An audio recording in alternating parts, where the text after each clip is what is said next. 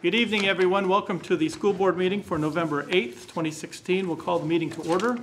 First item is the approval of our agenda. Is any, any questions or comments about our agenda tonight? Is there a motion for approval? So moved. Is there a second? I'll second. Any questions or comments on the agenda? Please read the It question. was moved to approve the agenda. All those in favor, please vote by saying aye. Aye. Aye. Those opposed, say nay. Nay. Motion carries. Next item, uh, I've not received any uh, papers on public comment, so we will move on past that item. The next item on our agenda is reports. Uh, Board reports, is there anyone with information from subcommittee or student events that you'd like to share tonight? I thought the front page picture tonight of the middle school thirtieth, thirtieth anniversary was very nice. And uh, I was there, and the student council did a great job of giving tours, and uh, I thought it was very well done. Good. Did you have a chance to go upstairs and look at the new, the boiler system too? I didn't look at the boiler. Yeah, They wasn't on the Amazing. tour. That's amazing, amazing. Okay, very good. I attended the uh, vocal concert last night. It was, uh, Mr. Weinrich did a nice job with both the uh, chamber and the, uh, the choir. So, nice job, him. Carl and I both attended um, a community group for discussing um, revisiting plans for the Early Childhood Center. So they're taking information from lots of people and trying to figure out how best to accommodate everybody's needs. I guess one of the big words or things that was, it needs to be flexible, flexible grouping, flexible rooms, and that was big. So, Okay, I have something I'd like to share. It was on the school website. Um, This past week in uh, Des Moines and Urbandale, there was a tragedy with the loss of a couple police officers, as most of us probably seen in the news. And the uh, high school choir group, uh, discussing that at class, decided they wanted to do something to try to help from, from their side. So they sent an email to the uh, police departments in uh, Des Moines and Urbandale. I just want to read a bit about it here. To all the Metro Police Departments affected by the events on November 2nd, uh, the Oskaloosa Choirs would like to reach, offer our deepest condolences to you and your families. We wanted to find a way to reach out to you and help at this hard time. We sought to do this in a, in a way best that we know how through music. Attached to this email, you will find a recording of our national anthem sung by the choirs here in Oskaloosa High School. We decided to sing the national anthem because it represents the service and ultimate sacrifices these brave men demonstrated through their careers. They may not have been a part of our direct community, but they are part of the Iowa family that we belong to. We hope this brings you some form of comfort in this hard time. Oskaloosa, Iowa is only one small part of the nation that is here to support you. Thank you for all that you've done and continue to do for the community. Everyone affected by this tragedy is in the thoughts and prayers of the choir members, staff, and other students in Oskaloosa. We wish you the best through this hard time, uh, the Oskaloosa High School choirs. I thought that was very, a very sincere thing to do at that time. I'm very, very proud of our kids for doing that. So, Mr. Bandy, please share that with anyone you can. Thank you. Um, Building reports, any questions or comments uh, for our principals for the uh, building reports that we received? with the elementary Fall FAST data, I was wondering if the teachers are seeing a big difference between the AIMSweb from, that they had given in the past versus the FAST this year, especially like in the kindergarten and first grade, that seemed to kind of take a dip from previous years. So if there was a big difference in what was assessed, assessment was very different.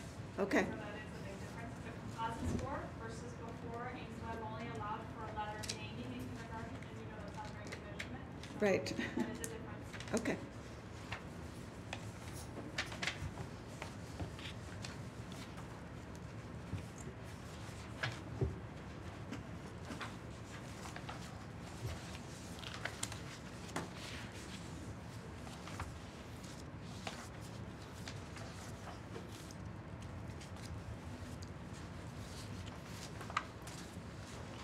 Just like to say on the, on the building reports, it's kind of hard to see through the, it's kind of hard to read through the, the. The Indian, The I'm sta- Indian. I'm sorry, Chief Mahaska. Is that the high school That, one? that is, that's the one. Mine didn't print. Well, Yeah. yeah, Mine's it's, faded it's, in the back. it's That's supposed to be a interesting. background thing, I've but really got a sometimes good it'll do Yeah, that. you've got it faded. Yeah, mine's like not. It's, uh, Supposed to be a watermark. what, I yeah, didn't buy it's- it, the other people did. You used extra ink. Yeah, And exactly. uh, same thing with the middle school report. You got the You originals. do. You just need cheap printers like the rest of us. I think that those files are in Word, and if you have an older version of Word, it doesn't quite handle those backgrounds very well, and then you end up with that, because I've, I've run into that a few times myself. It's kind of hard to read through all that. Yeah, well, most of the time I convert those over to a PDF, which is easier to send you, and it prints correctly. The problem was on these, there were some links included in there that I wanted you guys to be able to get to, especially at the end of the high school report. And, uh, so that's why I sent them to you in that format, so. Question for Mr. Bandy, this is kind of springing it on you, but, and this was a heck of a report, about ten pages here. The ad- advanced geometry, which is the first year being offered at the high school.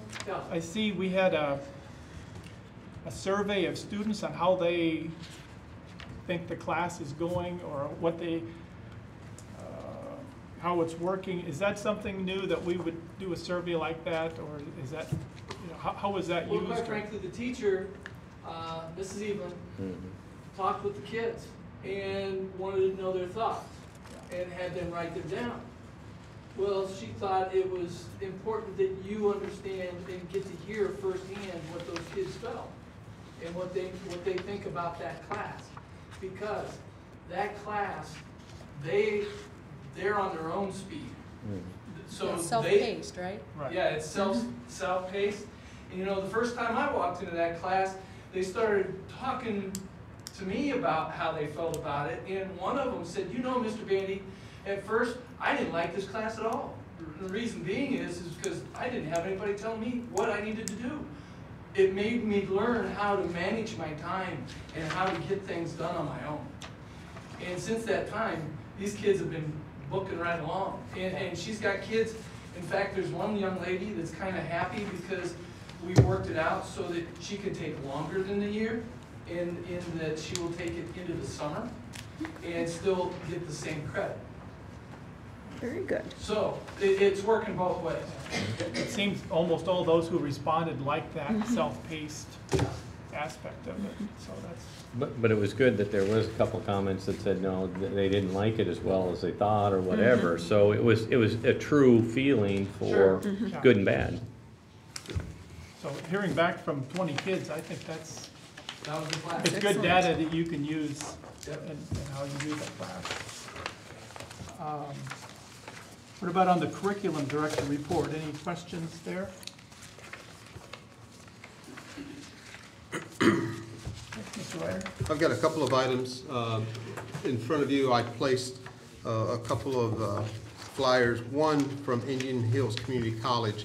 Indian Hills uh, is uh, a partner with us for several co-curricular classes, uh, and they uh, met with a few superintendents last week, and uh, uh, I knew that there was some type of bond issue, or they're looking at some type of a bond issue, but they, they gave us all of the uh, specifics last Wednesday, and I can tell you, the board, as well as the community, that Indian Hills Community College is looking to uh, have a vote and a proposed bond referendum. The vote will be held December sixth, two thousand and sixteen. Indian Hills is seeking thirty-six million dollars in general obligation bonds to improve three different campuses, down at Centerville, as well as the North Campus, as well as Indian Hills in Ottumwa.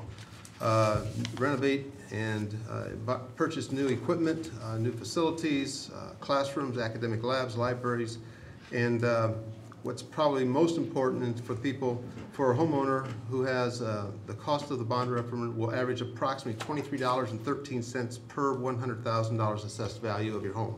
So, um, you think a couple of dollars a month, uh, if you can spare a couple of dollars a month, I know there's a lot of possibilities out there, but um, I myself, for what they do for our community and what uh, academically they do, Um, I would support this, but uh, I just want to make sure that you, the board knows, as well as the community. Um, I do plan on talking uh, to a couple of civic organizations uh, and to some individuals in the district, but uh, important for everybody here to understand.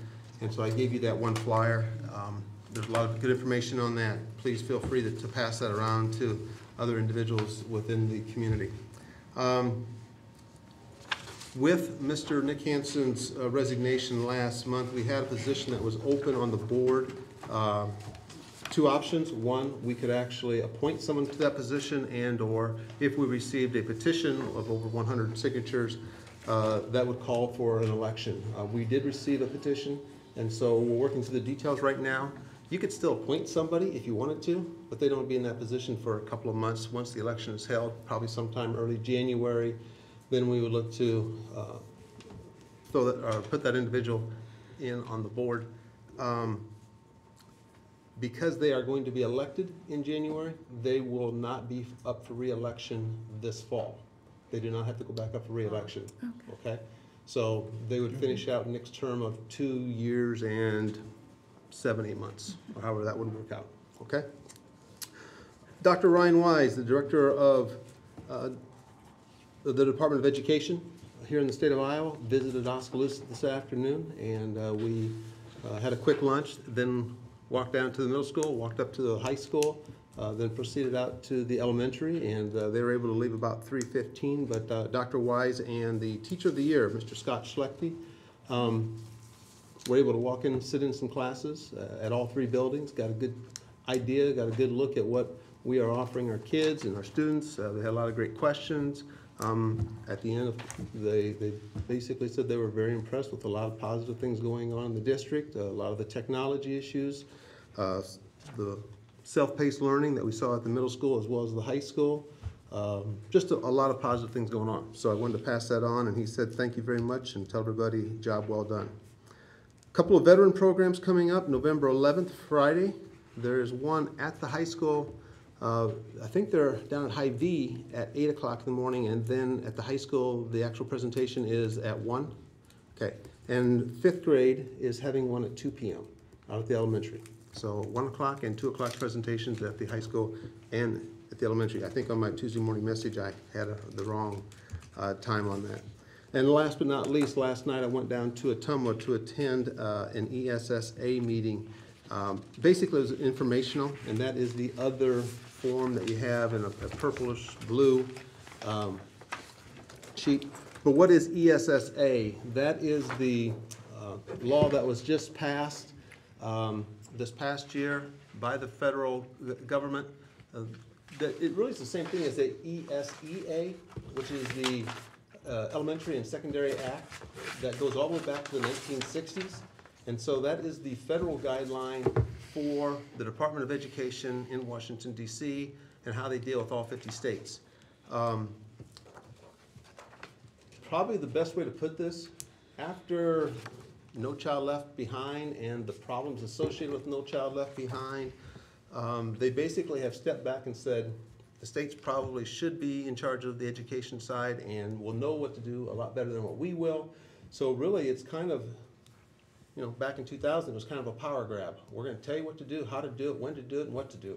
Um, they stepped back from that and basically said, we're gonna give our power back to the states. Now, they still have a few guidelines, because there's Title I money, Title II, Title III, Title V, Title VI, and, um, but ultimately, the new law, and they call it ESSA for Every Student Succeeds Act, uh, really hands the power back to the states. And uh, gives us more flexibility. It's a good thing. I've got a- that one flyer for you. Um, I've got a couple other presentations, and I even thought about maybe coming in in December and giving about five to 10 minutes of more information about it. But uh, if you can go on the Department of uh, Education website, there's a lot of great information on that up there. Um, There's power, I'm sorry, PowerPoint that I could pass out to you guys as well, but uh, just want to let you know that last night it was very informative, and um, You'll be getting more information as we go. And if you have any questions anytime, feel free to call me, contact me. Okay? All right, thank you. Uh, next item on the agenda is approval of minutes, financials, and abstracts. We had uh, minutes from two different meetings. Any questions on those? October 24th and 11th.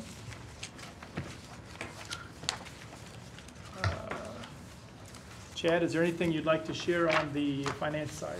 Most notably, of course, is the uh, property tax revenues that you see coming in for the general fund, the management fund, and the PPEL fund, obviously, um, October and April being our largest months, and um, so quite a change to those balances. Um, You know, also started seeing uh, the federal reimbursements start coming in on the nutrition fund, so that thing, will- that account will start working its way back from its deficit. Um, Other than that, I think on the management fund, uh, you do see uh, the expenditures for the uh, early retirement program. All of the uh, retirees did agree, all the retirees from 2016 did agree to um, have those deposits made in one lump sum here uh, in, at the end of January. So, or I'm sorry, at the end of October. So that is complete for this year. But otherwise, I'll open it up for questions.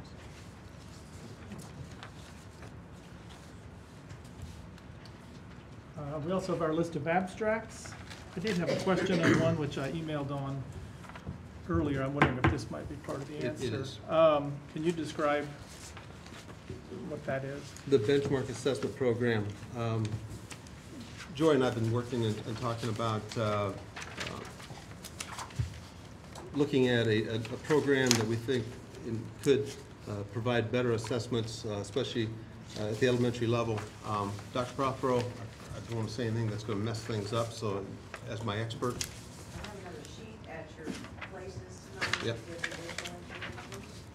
It's a tool that many schools in the area do use, and it's another way to assess where students are deficient and align the appropriate level materials to work with them. You know, skills are important if they're deficient, so we'll improve on those, but then they need to apply them in a reading setting, so they have some success, more reading brings more success for the students, so, um, it will hopefully improve the outcomes of our students at the elementary level, so they're reading more on target with grade nine benchmarks. So does this add on to, I guess that was my question, does this add on to the stuff that we're doing, or? They've had, uh, the second edition, so it wouldn't be an addition, it would be a new version with Gotcha. much improved, as you see there. And There will be some training for the teachers too, so that they better understand who needs it. Everybody doesn't need it. It's those that are below expectations that need to have some more thorough assessment of what the deficiencies are. So But do you link that then with your FAST and like those in the tier two or tier three, Those will be the then will ones that be assessed. be assessed? Okay. an average amount of time per student. Um, in some other schools that I worked with, been approximately ten minutes. It's not lengthy, because you don't have to do the whole gamut Yeah. of Mhm. of options.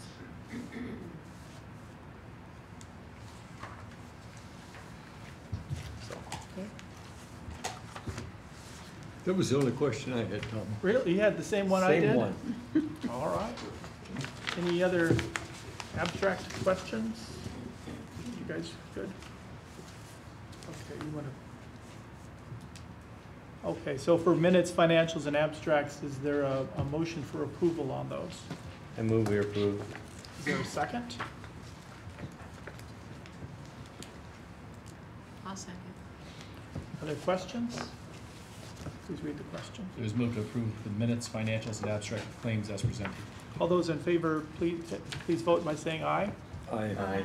Those opposed, say nay. You can pass around a copy to sign. Okay, uh, Next item on the agenda is presentation on elementary school academic progress. And, and my apologies here, um, have just a, probably a communication, um, issue with, and- this is, uh, on me and my, my, my fault. Uh, Contacted, uh, elementary and, uh, I probably didn't make it clear. They provided a great deal of information, academic progress information in your packets. So we don't have an actual presentation PowerPoint to give you, but all the information that was in your packet, all the FAST data, um, there was a great deal there, knowing that there were probably gonna be some questions. Um, Tim, Jolene, Uh, Those responsible for K-2 and 3-5 um, are here uh, for answering your questions and, because I assume with all the information that you you had in front of you, that there may be some. So, Tim, Jolene, uh, if you're gonna, if you'd be able to come up real quick and just, if there are no questions, then it could be pretty darn quick, but Some of the data that's not there because the state doesn't look at it is our accuracy, and our accuracy is improving through the grade level. So during our data day and with the discussion with the AA, we talked to Britta, which is our reading rep, and we've been really looking at how quickly our accuracy has been improving. So that wasn't included in the report, but that is important information. Uh, Can you remind us for both FAST and AIMSweb, they were taken in September. Yes. How often or when do those take place again throughout the school year? It's three times a year. We will take, um, we take it in the fall, winter, and then in the spring. In the spring, is that any time near uh, Iowa assessments or, They're different, yeah. So it'll be towards the end of May, so they have a. oh, it's like, screening- okay. uh, screening windows that we'll actually have to adhere to as the state sets forth. We were discussing that at our school today, and I believe our FAST is from January tenth through February third or something Right. like that. Yes. And I also w- was hoping that maybe Tim would be able to just explain briefly, take two minutes and talk about the progress monitoring. When you hear those terms, what do they do? Uh, It's not, j- it used to be maybe just on Friday, now it's every day they're doing Yeah. certain things, but talk about, and and let the board know about uh, how that all happens and, and testing and where, the- how do we know what the kids are learning and where they're at? Right, um, so based on, and I'll kind of slide closer here, um, based on where they fall as far as substantially at risk, uh, sorry, persistently at risk or Mhm. at risk, um, will determine where kids fall and how, how often we have to, uh, provide an intervention. So our persistently at risk are required to get an intervention, are at risk, uh, it's best practice to provide an intervention for them. But along the way, they also, we have to progress monitor them. So, uh, basically what the state has said is go Monday, Tuesday, Wednesday, use Thursday, Friday as kind of days of makeup days if kids aren't there, but, uh, you have to do that, even in those short weeks where we have Thanksgiving and Christmas and even shorter weeks, you still have to get all of that progress monitoring, so we know where our kids are at. Um, that just gives a, a quick benchmark or a, a dip of, of how they're progressing towards that rate of progress towards the goal that we have, towards that next, next benchmark that is set. So fall, we'll do the, the rate of progress, hoping that that increases to when we get to February, that they're proficient. And then there's another one from, uh, winter benchmark to the spring benchmark and just that rate of progress. Anything else? And the state tells you what subtest to use for kindergarten and first grade, so we just do what the state has told us to do. It's a one-minute read, second through fifth. Now, that being said, do you feel like you're adequately staffed to handle those interventions? I mean, you, you guys good with that, or, or? I'll let you guys know that. We run pretty small groups in the lower elementary, and so, um, extra hands are always nice, and we have a lot of volunteers that also help. Intervention groups, I'm even an intervention person, so we're, all hands are on deck helping with our students. We are all in the process together. And, you know, obviously, the more people you have, the better it is to serve kids. And, Mhm. um, like Jolene said, I too am serving kids, um, on Tuesdays and Thursdays uh, when I can. And, um, you know, thinking about the number of kids that we have, um, Right. and thinking about our special ed. Right. How do we provide interventions for everybody? And I think right now, um, that's probably one of the things that we continue to use is more people to help provide, um, the interventions for our kids. So the short answer, no, Mhm. um, but we're making do with what we have Okay. and doing the best we can. So we're not able to provide intervention, am I understanding that? We're not able to provide the interventions for everybody who All would be students identified? Have to have We- their intervention. We are, but we're getting really creative in how we do that. Okay. Right. Mm-hmm. Between Title I teachers and Okay. And classroom teachers. classroom special ed teachers and Special special ed ed teachers, teachers Okay. and Us. volunteers and Okay. people, so. So just kind of give the board a little bit of a synopsis how it works, is they're identified and then, if my understanding, they're red. So once you're red, you have to have two greens to get off. Well, Is yes that and no. One red and one green. Green. Right. Get off. Get off. Two reds, Two two greens. two greens? Get off. Okay. So it's, it's an intensive type of thing where it, you have to work and work and work at it. Yep, ELI sets the, is the law, so we Mhm. follow the law and the guidelines provided. And now that's been K three typically, uh, now it's moved in, so this year's fourth graders that we carry to this year's fourth graders, and then obviously fifth graders next year will continue to carry with them. So we'll have to continue to do that, so, you know, as we continue to move kids along, Mhm. uh, you know, obviously the goal is to make progress and to get those kids from red, red to green, green, Yes. uh, but that takes time. Right. So sometimes it also takes additional people to be able to do that as, as Right. they continue to move, so. Yeah. Have you been changing the types of interventions you've used this year versus in previous years? We're using Press this year, which was recommended by the state, and then we have a list of what's been approved, and we go off the list. And just like your special ed, you would see, you know, instruction, we're doing this, it's not working. We do that change, put that phase mm-hmm. change in there and switch to mm-hmm. something else and say, this is, where we're gonna do this now. Do you so- find a lot of it is in the decoding or the accuracy piece that's kind of, Well, with, like, phonemic awareness is common with the Mhm. lower elementary, so usually if they're falling out, we're still working on phonemic awareness to phonics, so we're just working within the Okay. process and really looking at it. okay. Yeah.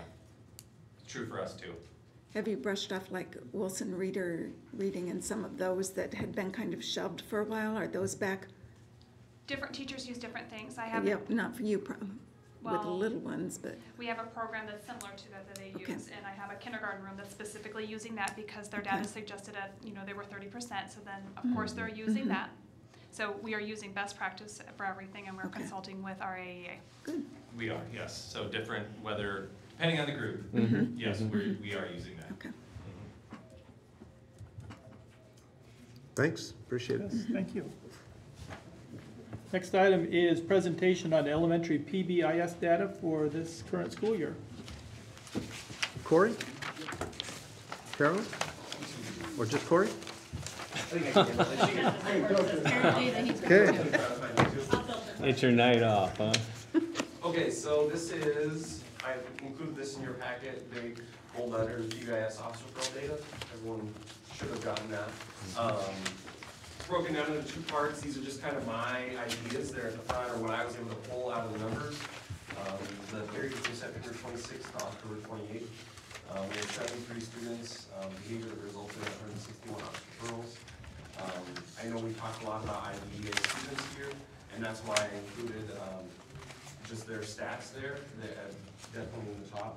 And you can see we have that subset, the group that have higher instances, um, those fourteen students that are resulting in forty-two point six percent of our referrals. Um, physical aggression is our. Do you guys bi- have that? Cause I didn't No. see that in my packet. We, we just got this. Yeah, let's just make a copy. You just might have to slow down, cause I can't write, I can't write as fast just- as no, you're We got a saying. copy. Is- is the door- make. Is the door open? It's not. It's all right.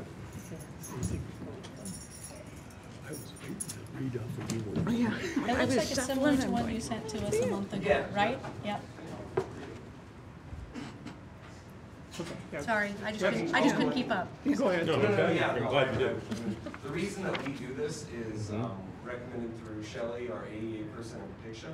Um, basically, it's for us to look and see what's going on in our school, Mhm. to make, um, share it with our principals, and then we talk about how can we respond to this data that we see. Mhm. Um, currently, with those physical aggression, um, numbers, if I can get to it online.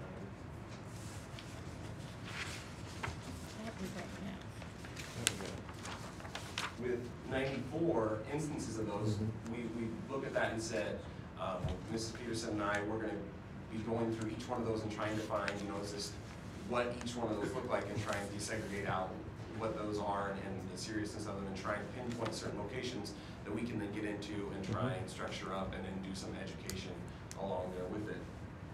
Our year-long data, um, we've had hundred and seven students that have had two hundred and sixty office referrals. Um, and then, you know, kind of that triangle that she talked about, our, um, students who had zero to one office referral is ninety-five point seven percent of our students.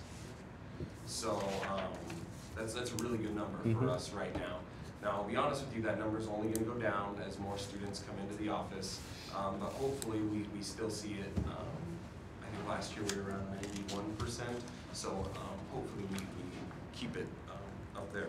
Our next is two, Can I add one thing there? Go ahead. Just so you know, the guideline too for that number is we want eighty, eighty percent of our students to be successful in that universal, and right now we're looking at a little over ninety-five percent have zero or one, so we're, we're very proud of that fact right there. So- Yes, that, and that's exactly right. I I forgot that. The, the standard that is, that is recommended is eighty percent of students are at zero to one office referral by the end of the year. Um, Our next, I'll go ahead and wait for you to, please. That was fast.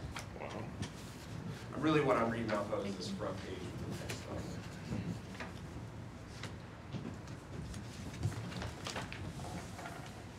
Thank you. Thank you. Sir? Um, The next stage is two to six office referrals, which is three point one percent of students. Um, And then finally, our area with six plus, six or more office referrals, which is one point two percent of students. Um, I noted that students were in that, that were in the six plus category. Every one of them is receiving behavioral um, instruction uh, that are, that goes above and beyond what their peers are receiving. Um, And some of them are in, or most of them, the majority of them are in either social skills classes with Mr. McGee, um, Mrs. Nelson, um, or our focus room, I guess, would be Mr. McGee. Um, So yeah, and, and I did include there at the very bottom, last year, we had hundred and thirty-seven office referrals by this time of year. So.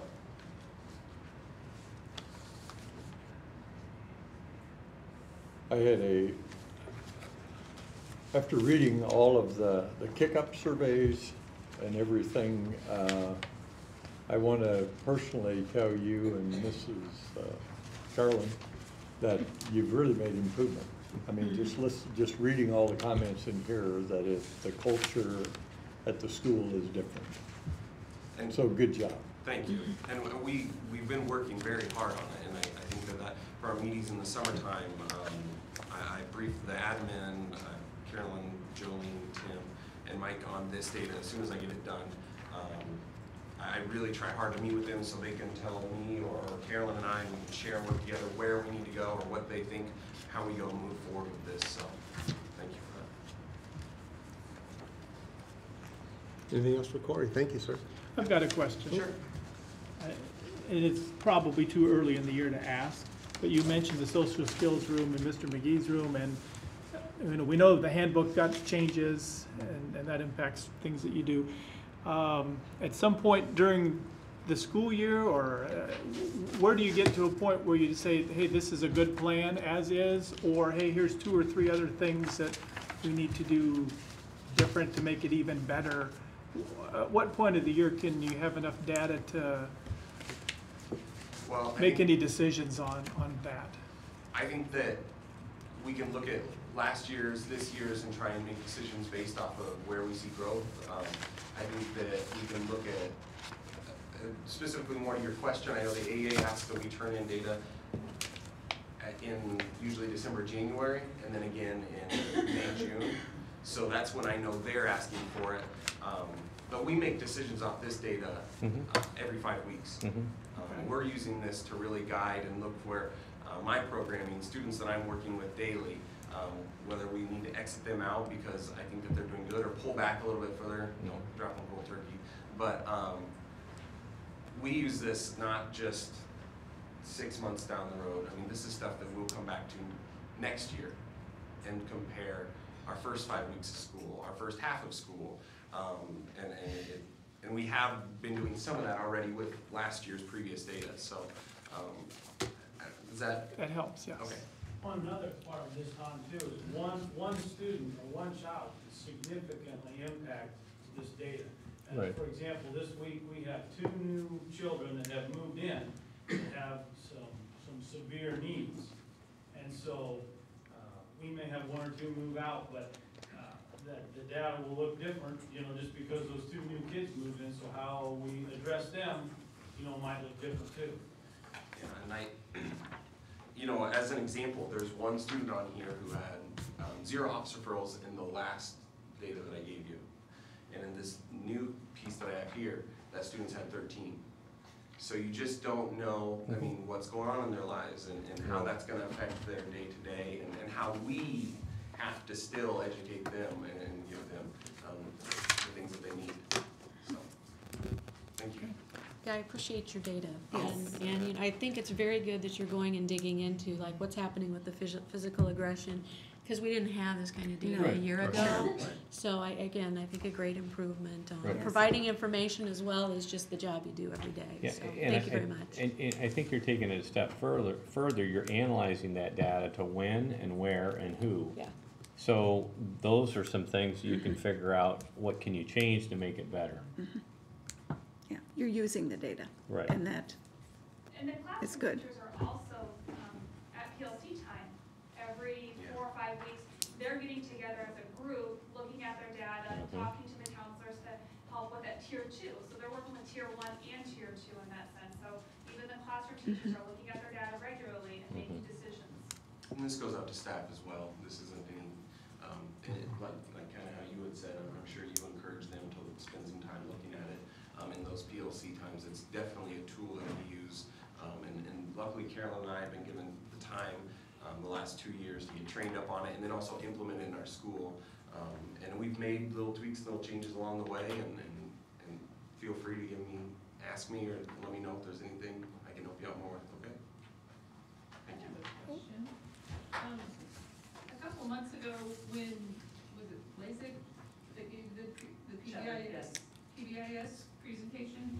At the end of her presentation, she kind of indicated that she could go through data and indicate where there may be holes in our PBIS system as a whole, as a community. Has that been done? Not to my knowledge yet. I know that she, she's communicated some of our previous, so basically, we've been entering data, we've been giving it to the AEA ever since we started PBIS. Um, and our PBIS program has gone through lots of changes, as many things have in our school. She did send some of that back to us, um, she's come back to our school for more, um, PD time, but she hasn't, other than the fact that she looks at our different tiers of services, tier one is the services that that zero to one, um, grouping in our office referral receive. Um, tier two would be more for the two to six office referrals, and then tier three would be the six plus. Our tier one, we look, I mean, the AEA and the state thinks we look really good at it. Our tier two is coming along really well. That's more of our small groups, our check-in, check-outs. Mhm. Um, our tier three, we are in the planning and working hard towards phase right now, so. And it's usually a three to five year process, Yes. and truly, in my opinion, you work truly in year three with consistency and implementation.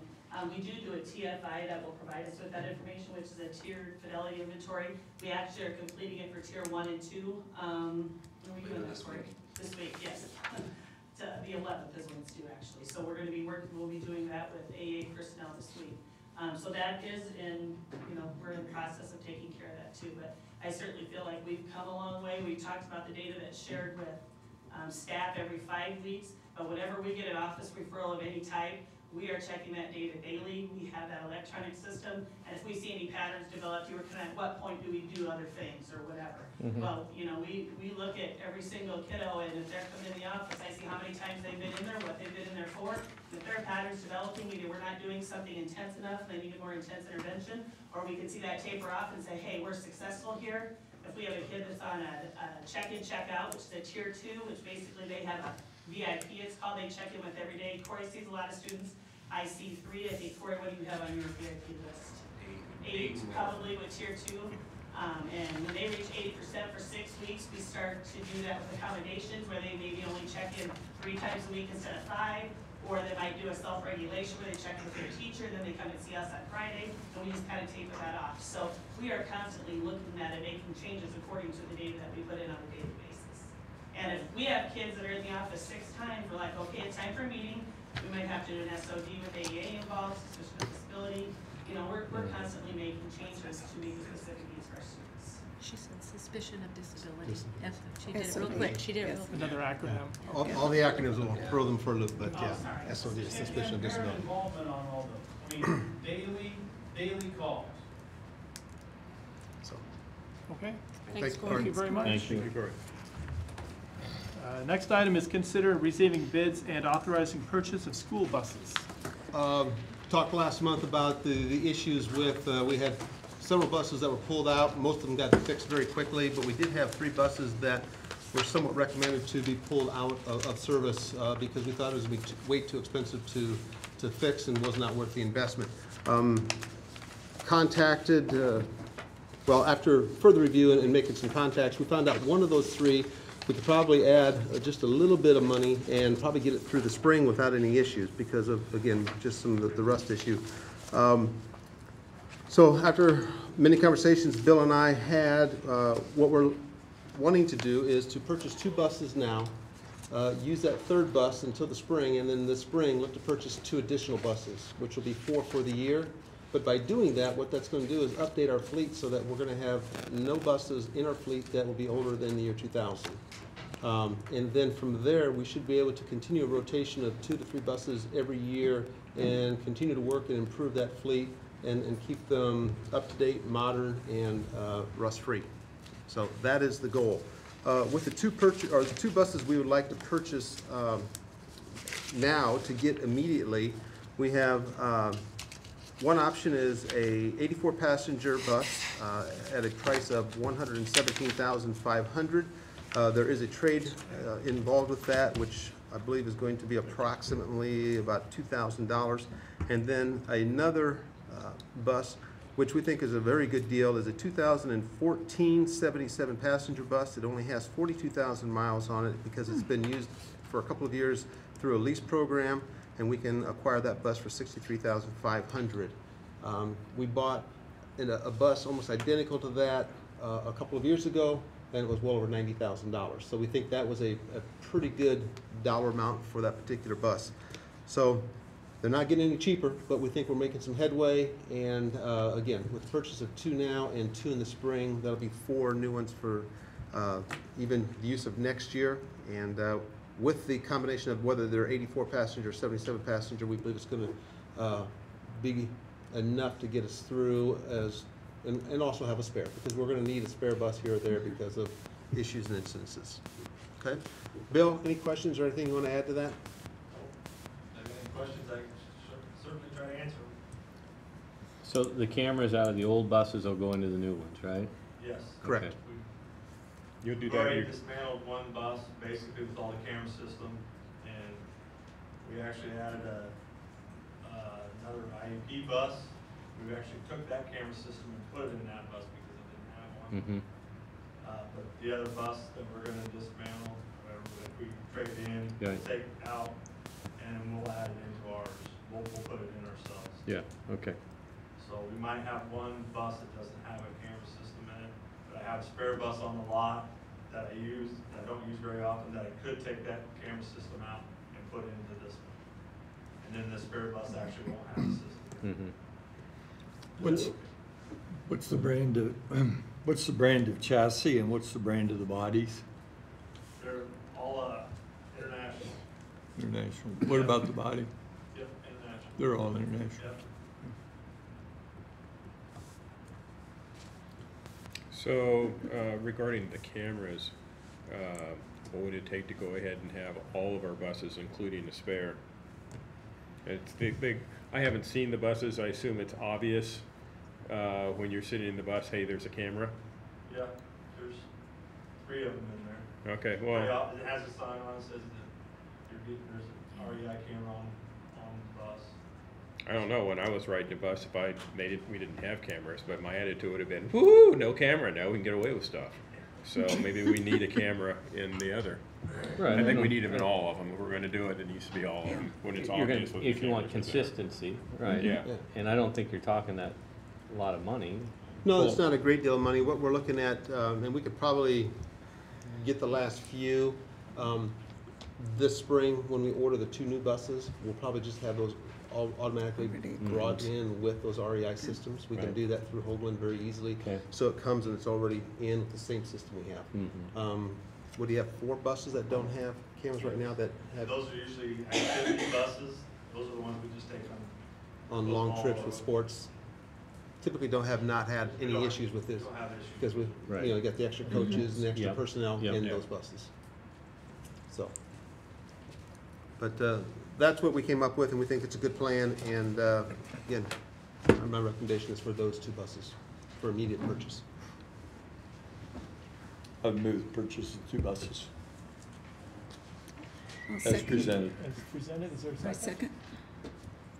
Uh, I do have one question. Carl made a good suggestion some time ago about changing a policy to have a maximum number of years for safety purposes. I'm just wondering also on, on number of miles on a bus, if there's a point where there's certain buses that get more miles put on them than others, is that something to consider, or? I think in the past, we never got, I mean, the miles is an incidental thing. That's not It's- been an issue? It's the rust and. It's, it's the salt, the wear, the tear, the rust, and uh, usually after so many, and, and we, on occasion, we, we've gone ahead and, uh, have redone the engines. I mean, we've had to take them out, get them redone, put them back in. Not, not cheap, but, uh, they'll last for, uh, a long time. And uh, we're, we're completely diesel now, so that's a positive as well, so. But discussion on the policy, potential change, is that something this winter we can talk about? I, I think actually, I I would even include that maybe for next month and uh, start some conversations and look at the different board policies that deal in the seven hundred series from seven eleven all the way down to seven eleven point eight and talk about, uh, do we want to go that route? I think it will force us, force myself administratively. Uh, We've done a good job to get the fleet back up to shape. We have purchased on average two to three per year. And and we're getting to a point now um, where consistently, we can expect that, we plan for that, we budget for that, so. Did, did Bill say there was thirty-four buses?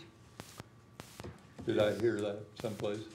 I believe that is. I think that's, yeah, pretty darn close. I mean, two a year would be a seventeen-year rotation. Seventeen-year rotation, yeah, In that area, I think would be fine, so, right. I mean, when we talk about it next month, I think that'd be a, Yeah. I think that would be a good goal. Yeah. Mm, agree. We've had a motion and a second. Any other questions? Please read the question. There's a move to receive bids for bus purchase and award the sale to Hoglund Bus Company Incorporated for one 2014 77 passenger diesel school bus and one 2016 84 passenger diesel school bus at a cost with trade-in allowances of one hundred and seventy-seven thousand five hundred dollars. All those in favor, please vote by saying aye.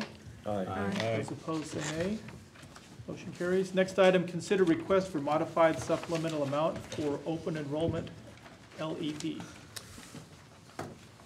Didn't know, Chad, how much you wanted to say. I just wanted to, I, I put this in my notes as well. Um, periodically throughout the year, um, the district will be spending additional funds, additional money, whether it be for additional, uh, academic services or money that goes out to open enrollment.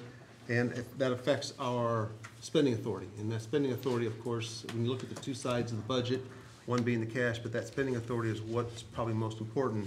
I think it was last month or two months ago at our, um, work session where I kind of talked about that spending authority on the board and, and getting, uh, anytime we have the opportunity to, uh, acquire the authority, we really need to do so. There's no guarantee that we're actually gonna have to tax back. We can, we can maybe do half of what we would wanna do, but that spending authority is, is, is vital. And so, um, in this particular situation where we're looking at, uh, additional funds for LEP open enrollment, um, to the tune of two hundred ninety-one thousand, three hundred fifty-nine dollars. Uh, We're requesting that authority, and then in February, we'll be able to determine what we want to do for tax purposes. And, and again, I think our, the board's goal is to get to a minimum of four million dollars on spending authority. Um, Last, I think we're or three point three million, I think we're gonna get close to that four million dollar spending authority, uh, bottom line, uh, this fall. But, uh, again, anytime, and here's a quarter of a million dollars, that will help us get to that point. Yeah, I have the open enrollment amount, uh, both of them really in the same motion if you're interested in doing so. Open enrollment amount of two hundred ninety-one thousand, three hundred fifty-nine dollars and twenty cents. And the LEP served, students served beyond five years for thirteen thousand, fifty dollars and eighteen cents. Okay, I was thinking that was a total, but the LEP is thirteen thousand? Okay. What was that, LEP, thirteen? Thirteen thousand, fifty dollars and eighteen cents. Yeah, yes. And LEP is for uh, limited English proficiency, so for students that we're spending additional dollars on to, who may come into our district and English is not their uh, language spoken at home.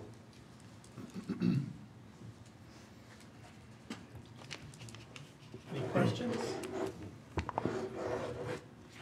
Is there a motion on this? I move we go ahead. Is there a second?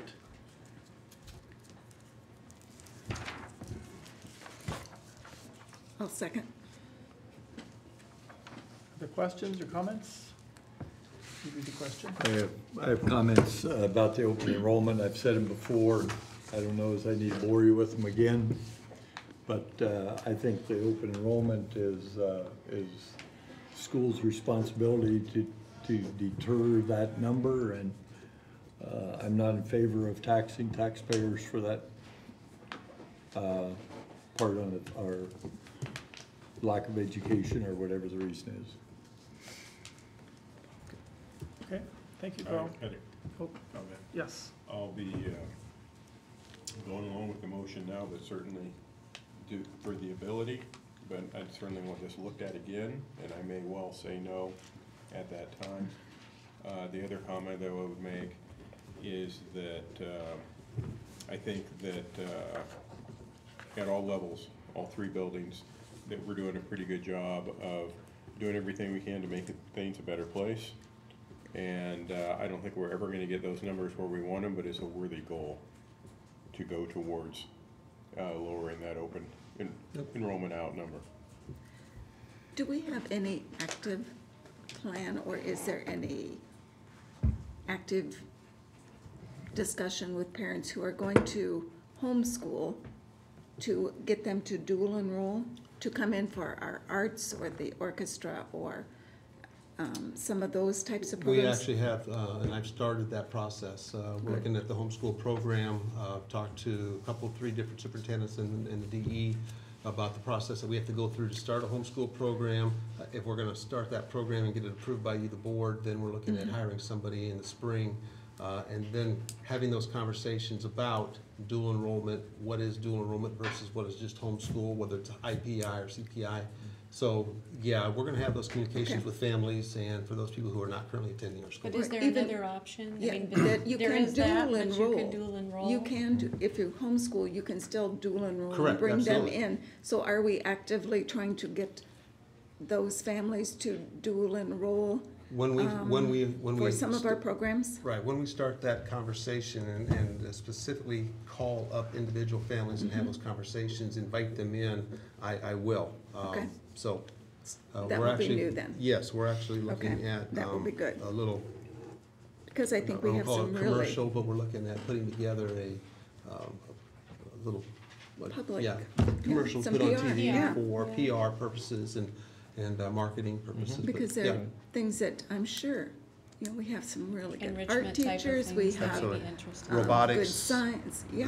math. There's lots that could add to their homeschooling. program. Orchestra, about, uh, orchestra, Mhm. vocal music, band program like it's going on tonight. When the, uh, a, a student who is uh, homeschooled comes in, I understand generally it is for an arts type of thing, but, uh, can the students come in and say, you know what? I wanna take your uh, advanced geometry, Yes, or I yeah, wanna ta- absolutely. take a core class They can, they can take. and go take back and class, forth. Yes, And yeah, they can. I, I would uh, say that uh, encouraging those folks to bring in, and the more that their kids are in the building, if we're doing the right things, the more it might be those kids going home and saying to mom and dad, you know, I'd kind of like to be there all the time. Yeah. Yeah. And you, and you'll find a lot of kids uh, who may be homeschooled who, for some reason, uh, when it comes to trigonometry, calculus, pre-calc, uh, chemistry two, some of those classes, uh, that's a little above, Mom and dad. you know, what maybe parents or Right. whatever teacher can provide. So we, Yeah. we have seen uh, ho- homeschooled students who have been dual enrolled who attend for those purposes as well as the, the fine arts and activities. So. Good. Okay, good discussion. We've had our motion and second, right? So Chad, please read the question.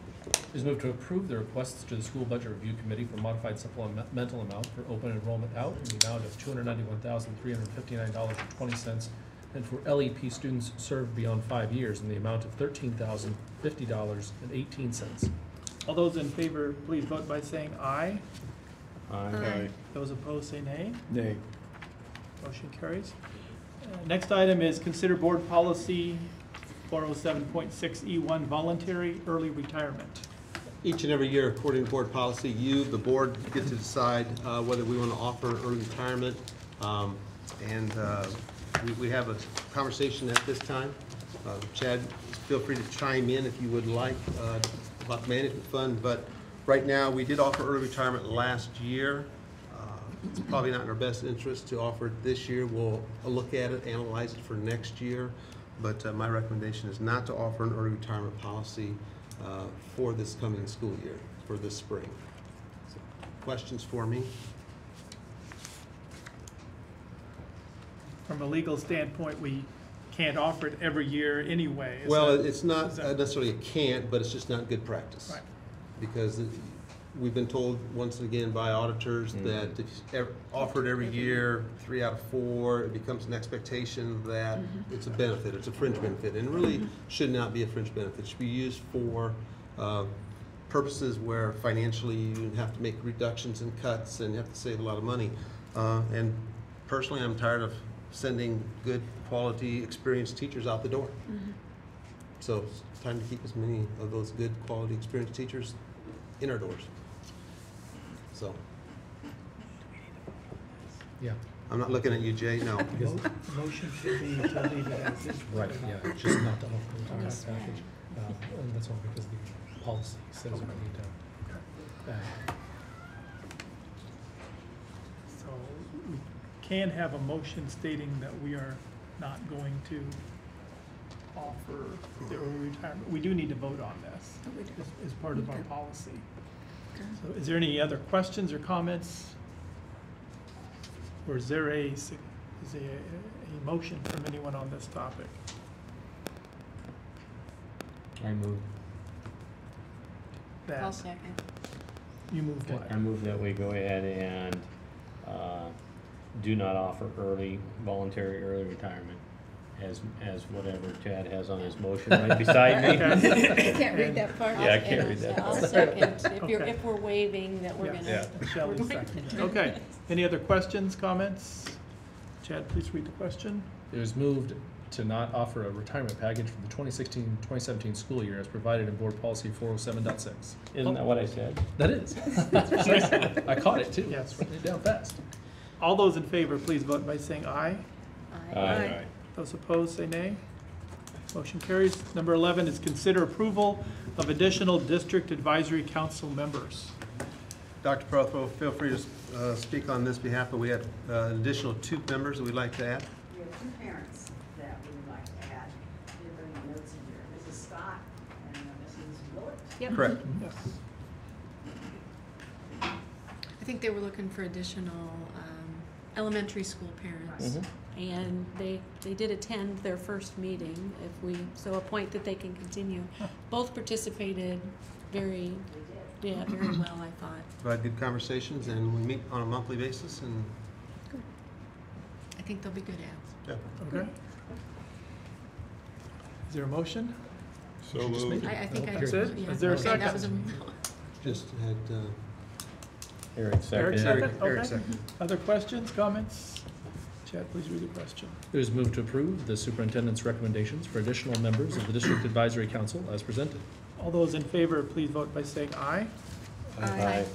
Those opposed, say nay. Motion carries. Number 12, consider approval to initiate a plan design for potential new softball field. Hand this packet on to you guys real quick. A lot of information in it. So you- And as he's handing point. those out, I just wanted to let you know that we continue, and I appreciate Craig's, uh, thank you, uh, has been a part of the, uh, the committee, and, and and again, when we take a look at the current softball field, the location of it, all the issues we talked about, ADA compliance and uh, maintenance efforts that have to be continually, and I could let Jay speak to that more in depth, but uh, this is not a general fund expense, this is an expense that would come from our uh, either PPEL and/or um, statewide penny dollars. And uh, Mr. Parker, go ahead. Uh, here's your packet, the first page shows us sort of, we got eleven person committee, um, that we put together. And basically, we started um, back in August, uh, maybe- actually before that. Um, We put this committee together, we've met three times um, up to this current date. Uh, Your committee people are uh, myself, obviously, uh, Mr. Ryder, um, Craig was on that, uh, representing the school board, uh, Bill Holman, uh, the maintenance department, Kyle Brotmeyer, middle school AD, uh, Jay Harms, softball, Clint Gingrich with baseball, uh, Jake Jenkins with football, uh, Rich Pearson as the community, Heather Brown, Oskaloosa Booster Club, and then Mike Kinley um, representing the community as well.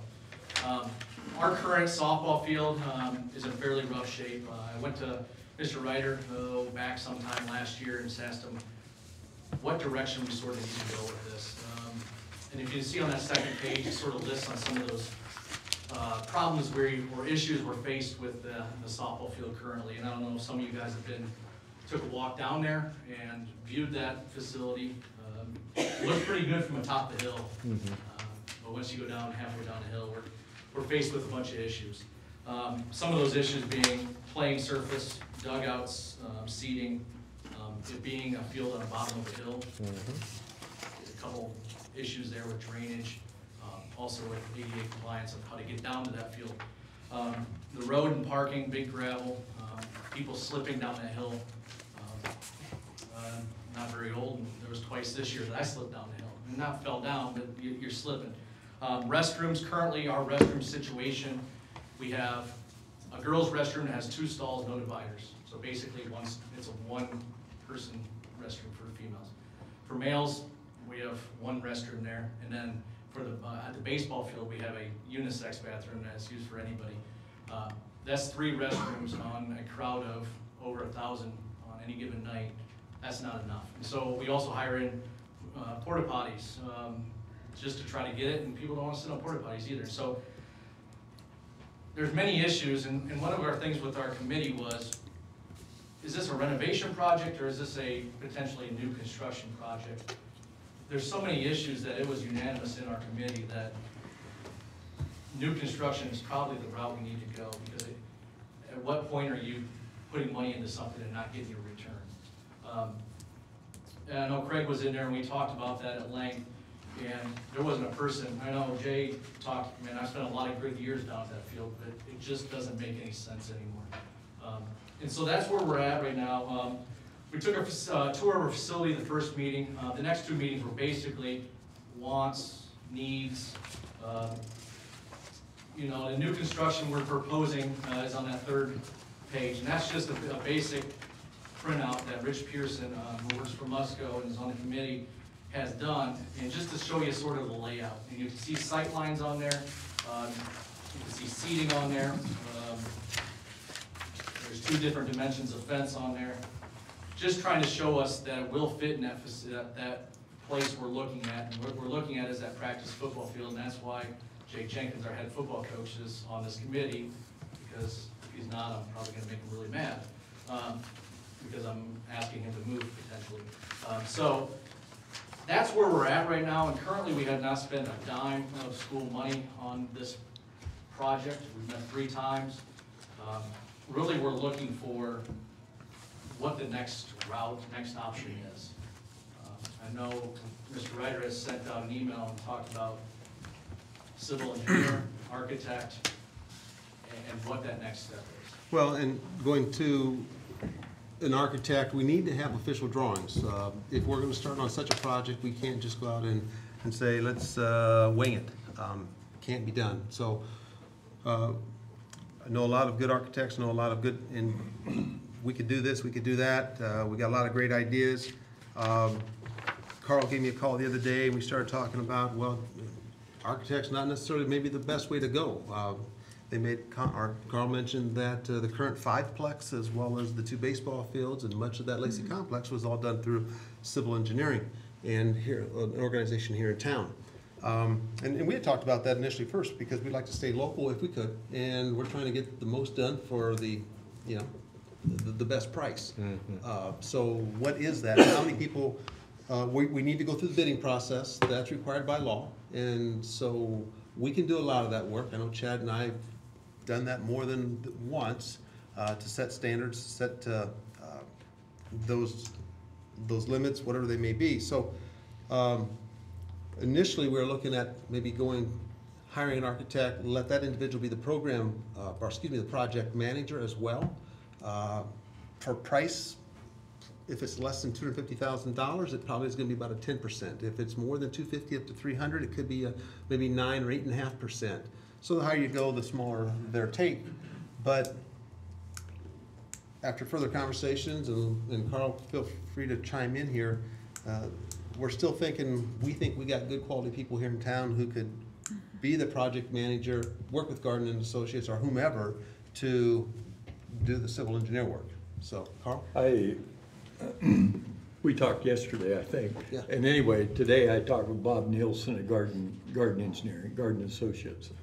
And Bob has been instrumental in the Lacey Complex, which I have been in charge of building the fiveplex, the Babe Ruth fields, basically on the stadium, all the soccer fields and everything. So I have a little bit of experience down this road. And uh, And I certainly understand why we need a plan, we need something to bid, and all those things. But um, what, what Bob Nielsen and I talked about is, he said he could do the design of the fields, but when we get to dugouts and things like that, he might need some assistance on that.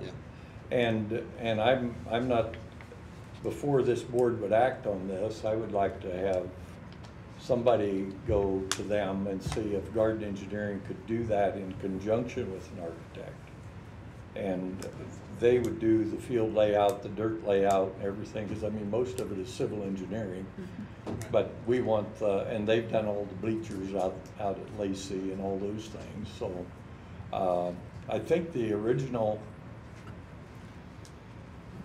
this was nineteen, uh, two thousand or something like that, we started Five Fiveplex. I believe that we had a consulting firm come in and draw out a basic, uh, big area layout for that area. Yeah, I think it came out of Webster City, there was an athletic company. No, it was a, uh, it was a planning firm out of Des Moines, I Okay. believe. And then when we got ready to build the fiveplex, we contacted, uh, an Iowa Athletics Fields out of Webster Yeah, City. that's the one. And his first name is Kurt, I couldn't think of his last name for nothing, but since we didn't have to build it, he came in with a plan. And this is the way a fiveplex goes, and we tweaked it, and, and, uh, we had volunteers that did the tiling, we had volunteers, uh, I mean, I hauled sod from Riverside. We had a group of people come in to lay the sod, and we really saved money. Uh, I don't know how the softball, the athletic people with a bid would be able to do that, but, uh, I know, I know for projects like this, uh, you can, I You mean, can there's do a an lot awful lot. of willing people. Right, and, and we know that we, Mhm. unfortunately, or not fortunately, or unfortunately, we, we still have, uh, policies and state laws that we'll have to adhere to. Right. And, and we will do that, but if somebody wants to donate a lot of their time, their bid probably will be half of maybe what somebody else's might be, because it's material only.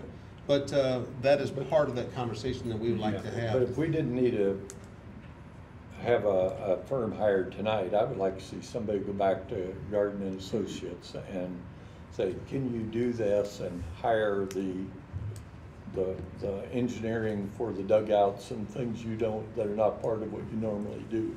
Well, and actually, uh, Mr. Harms uh, and Mr. Parker, uh, Thursday morning, uh, heading up to the Des Moines area to visit two or three softball fields from different high schools, probably Drake University, just to get some ideas. We've got scheduled Waukee, um, West Des Moines Valley, and Drake, and then hitting Indianola probably on the way back. So they're gonna be able to take some pictures, or we'll have a chance to talk about what we would like to see. Again, always keep an ADA and compliance in mind, uh, what we have here. Bring, and, and again, we bring Garden Associates out to sit down, talk with them about, here's what we want. We think we can have a very high-quality field and complex here, uh, for a lot less than what you would typically have to spend. Um, But we wanna make sure we do it right.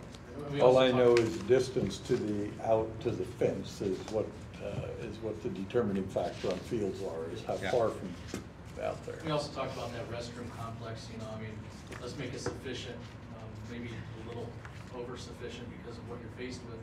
Um, But, you know, making, getting into talks with building trades or, you know, where we're at with that, that crew and what they need to do.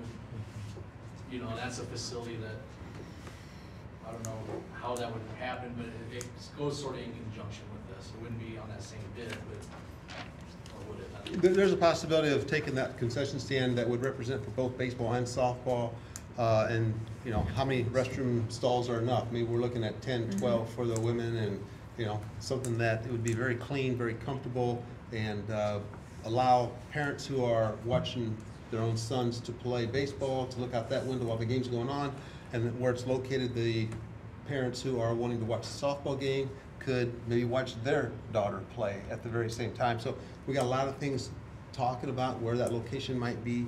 But uh, yeah, our building trades could potentially uh, do a lot of work on something like that. The other thing I was thinking today is, uh, every engineering contract that I've ever seen, engineering, architectural, whatever, is reimbursable expenses, and travel, travel is a reimbursable expense, and, and, uh, I, I, I know they find excuses to drive sixty miles, and we pay every time they come. And if we have somebody local, we can chauffeur a out or something like that. So I think staying local on the thing, if we can, is, uh, is a real money saver on getting our, getting accomplished. Even to the point of our own maintenance, doing the uh, irrigation system, which we know our guys are very capable of doing the irrigation system. So we just, we just replaced our irrigation system on baseball, uh, and they basically did that, so. Very So- capable. So I think what we're trying to do is pull the pieces together. I think that's what we're working on now and trying to figure out where those pieces are gonna fit and how much they're gonna cost. And that's what I've been here, and I, I keep talking to Russ, okay, we need to kinda know what it's gonna cost. Because we're the, we're the ones that either approve it at this price or whatever. So what I think we're looking at is, what I'm hearing the board say is we need to go look for the civil engineer, tie in an architect that can do those other things, get some prices, do those bids, figure out how we're gonna do that, and then come back to us so we can approve it. Is that what I'm hearing us say? Yes. Yes. I think when the, when the engineers get done, you have an, an engineering estimate of this is what we think it's gonna cost. and Right. We already have a lot of hard costs. We already, know we would have contacted uh, a couple of fencing companies, and we have a really good idea what that's gonna run, irrigation. But uh, the, the land and the, the dirt movement is going to be an issue. We don't have a solid number there yet. Uh, And there's a couple other things. Um, So appreciate that though, because it at least gives us a, a- the direction to go and we're, we're not playing there this summer. What we've got Right. sixteen months, so, but we wanna make sure that we get this thing rolling and that way we have the plan ready to go. You mentioned that this would displace the practice football field. Correct, yes. Can you explain So. if what you- would happen to Yeah, so that? you see on the backside of that, sort of that, it doesn't show it really on that one, but you're still faced with 35, 40 yards of football field behind that, um, practice, practice football field. What we would do, um, through talks with our football coaches and uh, administration, we move, uh, the varsity practice field, which is, this would be currently go on down to where the ninth grade practices, which was the old middle school game field, and move our ninth grade down to where the band field, uh, where that's one set of lights is down there. Um, And you ask where the band's going, well, the band's going out front now. Um, We've seeded that where the old tennis courts are, which will allow them to not roll their percussion equipment across dirt and mud and damage that equipment, and now they can just go across concrete. And so everybody basically bumps down a field, down a level, if you notice the levels back there. Um, Middle school still has their field directly behind, but basically displaces ninth grade and then varsity goes down a field. I have, I have, uh, thought about this area since we bought this land to build this building on. And on the north side of this creek, on the north side of the recreation trail is an area that we own.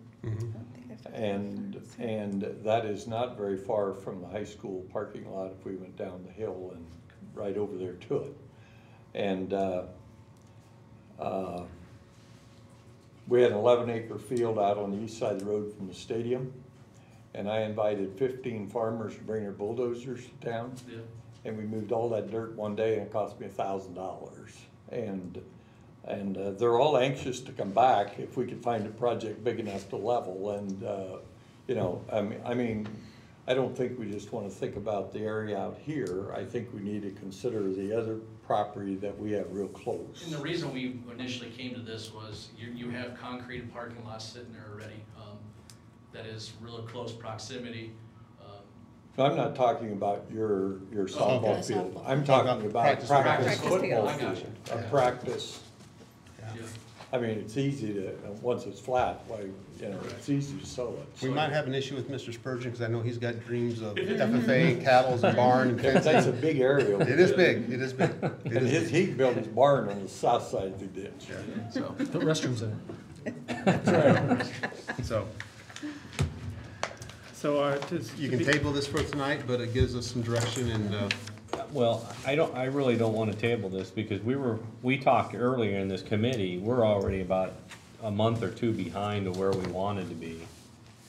What I would do is move that we, um, we approve that we give you guys the authority to contact the civil and engineer from Garden Associates to figure out what the cost would be, and you go ahead and find out, like Carl says, an architect, what it's gonna be to do those other types of things. Um, That would because- be part of Gardens, Gardens. work Right, that they would have to work They'd have together. to subcontract Yeah. or something. Right, and then you guys would, in the proposal, start pu- pulling together those estimates to prepare for the board. you do that. That's how I see it, because if we wait another month and, and this, we're, we're delaying the project, and we already said, we wanna, we gotta, we gotta start moving on yeah, this. so We're looking summer two thousand eighteen to play on it. Right, I don't think anybody wanted to delay it, I No. think we're, I Yeah, didn't I realize we needed a mo- a, a motion to do that, I just thought that's what was Yeah. gonna happen. so I make that motion, whatever you have, Chad. Working on it. What do we do with that, Jan? Exactly. Uh, uh, While he's writing, is there a second for this motion? It's yet to be written. Maybe we need to hear what the actual Okay. motion is. Well, move to First. authorize administration to proceed, um, pursuing civil engineering services and, Of Garden, that's of you, Garden. you want it with Garden? Yeah, I want it with Garden. Okay. Yeah. In, in cost estimates. Okay. Garden Associates. To work with an architect on,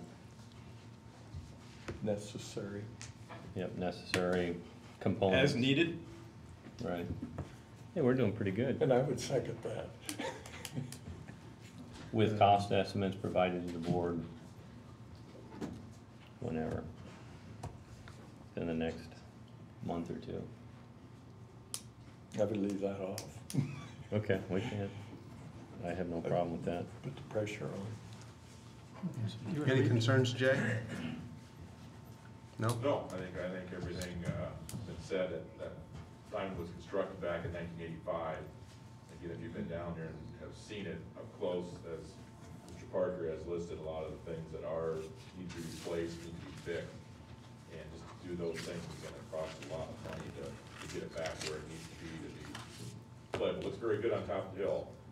Cosmetically, we can make it look good, but you get down there, there's a lot of things that need, need taken care of.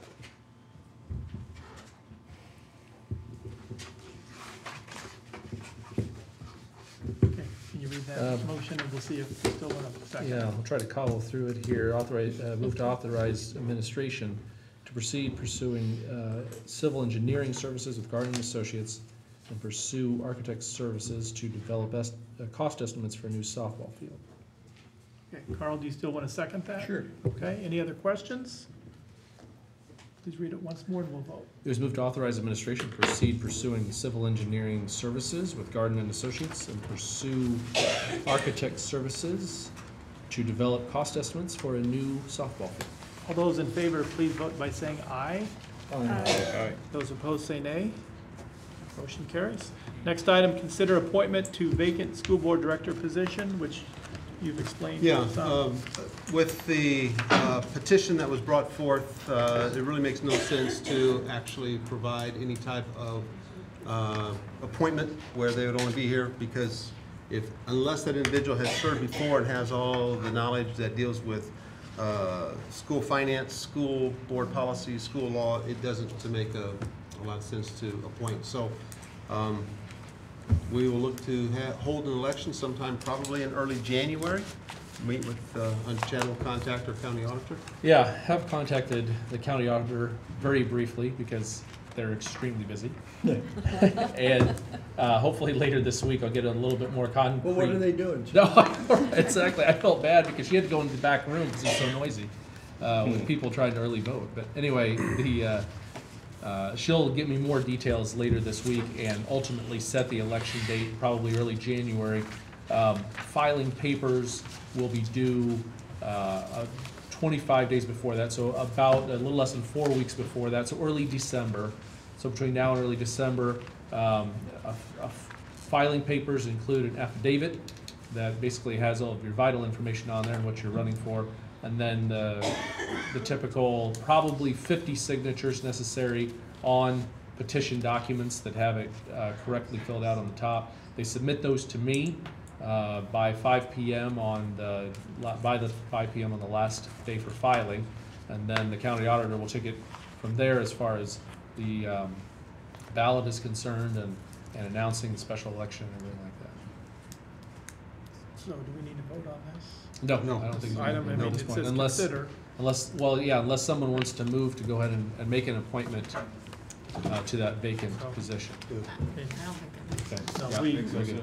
I think Eric, he enjoys that extra space over there. Yeah. So we'll stay as a board of six until that election takes place and perhaps January and have that resolved. Okay. Next item is review subsequent meeting. To my knowledge, there's no need for a meeting the second part of Feb, of uh, November. Were we going to look at and have the school administrators come in with the kick-up surveys and talk at some, or develop a plan, and here it is, so what do you see and what are we gonna do? Right, and I want to just clarify, the kick-up survey, when we went back, I contacted them, and the, the questions that dealt with safety discipline at the secondary level, there was an inaccuracy in the computer. So we actually sent an email back out to those parents, Okay. middle school, high school students. I took it. Got it. And now we're getting that data back. Um, Okay. It's, I think it's gonna be open until this Thursday. And once we get that information back, I have met with all three administrative teams already with regards to having them analyze the parent and uh, teacher comments, looking at what they felt were the top three to four issues that, that were on the comments. And then I asked them to look at two to three things that they can do within their building. And I'm putting all that together right now, but I didn't want to give that out to you until I got the, the other, the new questions from this, uh, hopefully Thursday, Friday. So are we going to be able to meet and talk with them at the table? I would like to do that. I think that it- with this whole situation that popped up last year, I think the whole piece of active engagement and transparency is so important with this. I agree with you. We can look at, the- well, the last week of, or that fourth Tuesday mm-hmm. of the month. After Thanksgiving? Yeah, would be after Thanksgiving or be the one right before Thanksgiving? Well, Right either before- one. right before we- Things before Thanksgiving. I'm not opposed to that at all. The 22nd? Two weeks from today or Thursday. I- I'd rather meet on the, um, It would be the twenty-second, or you could wait till the Or twenty-ninth. 29th, either one. I got,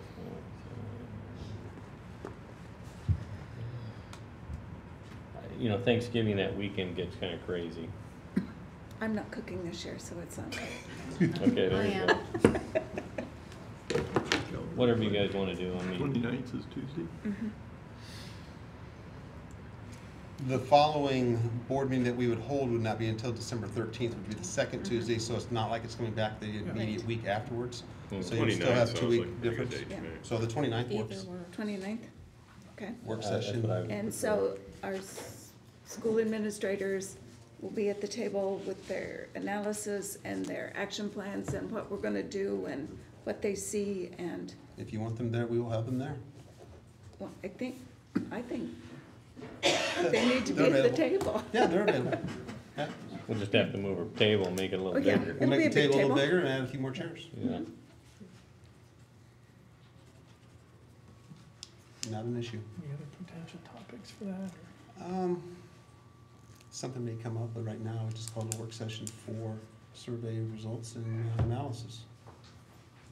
And that would be, would that be primarily on the questions just sent out to parents, or would there be more? No, it'd be, the- I would- it would be the entire survey. Okay. It'd be the entire survey. Okay. All the questions. So it would include those analyzed. things that were missed. Yep. So November 29th at seven o'clock. Mm-hmm. Anything else? Very good. Thank you, folks. This meeting is adjourned.